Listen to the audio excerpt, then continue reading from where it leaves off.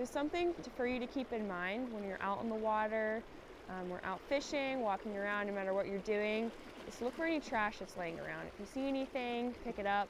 It's great to bring a bag with you if you can. I usually keep one in my backpack and just try and pick things up as I'm walking or see things. For me, I'm a guide. I'm out in this water almost every day. It's really important to be picking up after other people sometimes, or the water also washes up a lot of trash too from other places.